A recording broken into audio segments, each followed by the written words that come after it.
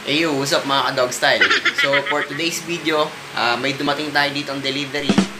So, ano nga ba yung laman ng delivery na yon? So, wala nang intro-intro. Tara, simulan na natin.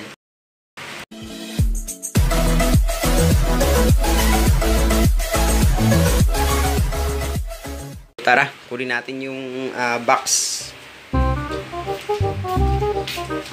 So, ayan, gagawin natin yung malunggay powder. Ito yung box.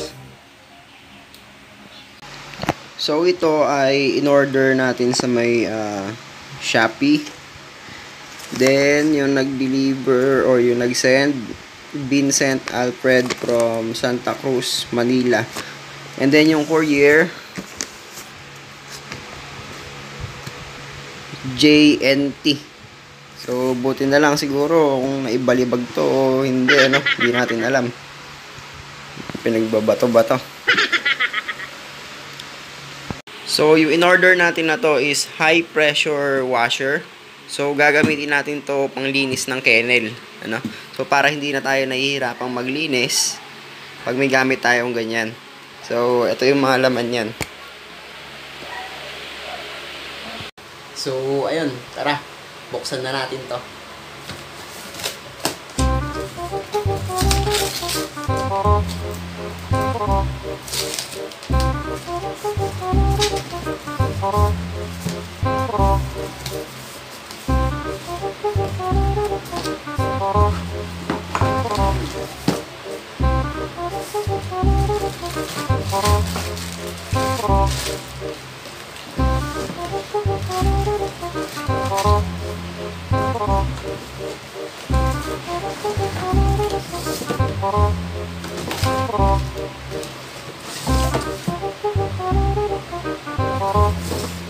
So,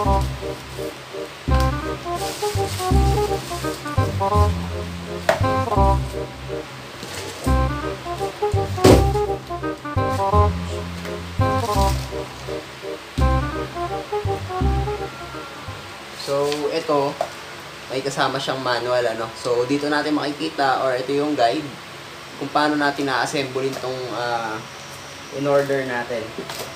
Ito. So, ito yung pinaka-makina, yung power washer. Then, syempre, ito yung plug niya.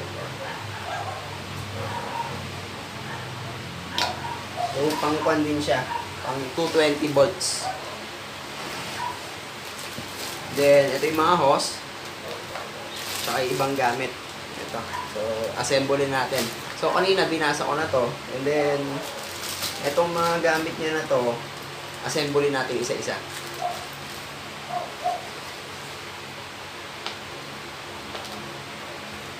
So, itong pinaka niya, hose niya, ito yung hose. So, makikita natin dito,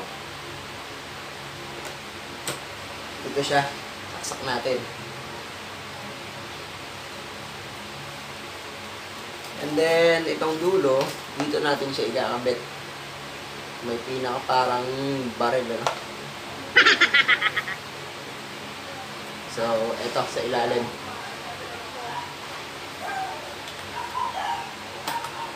Yun. So, connected na yan, ano? Ito. So, bale, may dalawang bala tayo dito, ano? So, ito isa, meron siyang tank. So, dito pwede tayong maglagay ng ah, sabon. Okay, sabon, halimbawa, yung gusto natin i-washing, ah, lalagyan natin ng sabon. So, para masabon natin.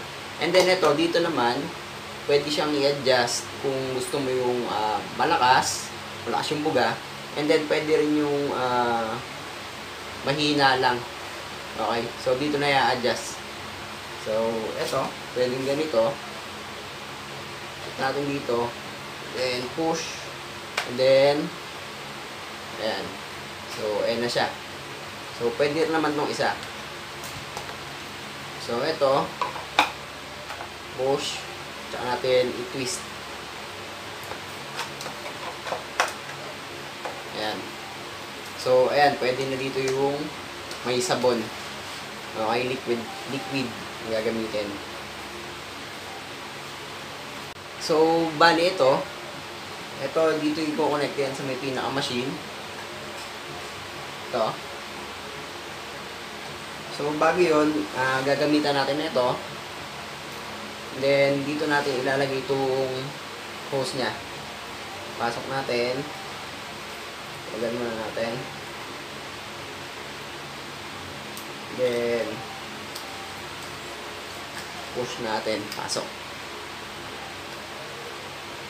So, pag nakapasok na, pwede na natin siyang higpitan. So, para walang maglilik ng tatagas.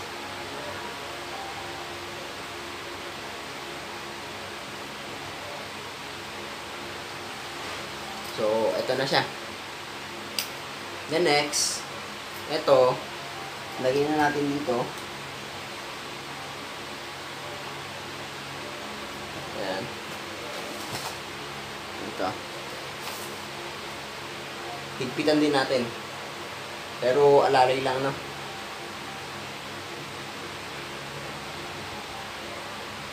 So, pag mahigpit na yon and then itong dulo, pwede na natin siyang push dito. So, ayun, connected na siya. Okay na. And then next, next natin, yung pinakadulo ulit nitong hose, meron siya ditong pinaka-filter. Itong filter na to, para hindi siya makasipsip ng kung ano-ano na makukuha ng makina. So, kailangan natin ng filter. So, lagay lang natin na ganyan. So, eto. Eto na yung ilalagay natin sa may pinakatimba. Timba, yung pagkukunan ng tubig. Then, pwede rin to pala na rekta. I-rekta dun sa may pinaka gripo. Yung gripo natin. Halimbawa, may gripo kayo. So, pwede siyang i-connecta or i-rekta. I-rekta dun. Pero kung wala naman, gamit kayo ng timba, pwede naman dito rin. Lagay nyo lang dito. Sa filter. So, basta basahin nyo lang tong ah, owner's manual.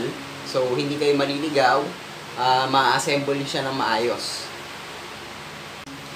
So, tara. Testing na natin.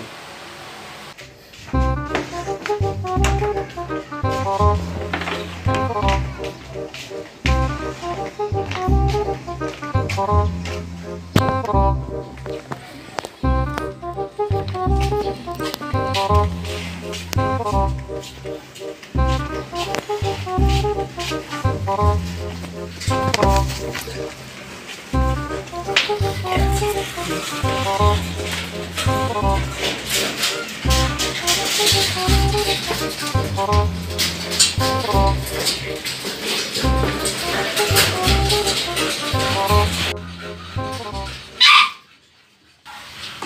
etong pinaka-filter natin, dito natin ilalagay sa may pinaka-drum ng tubig.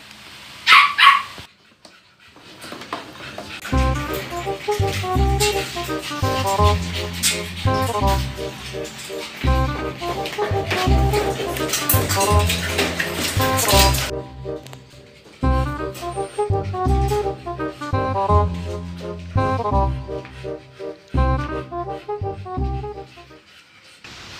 i-plug na natin siya.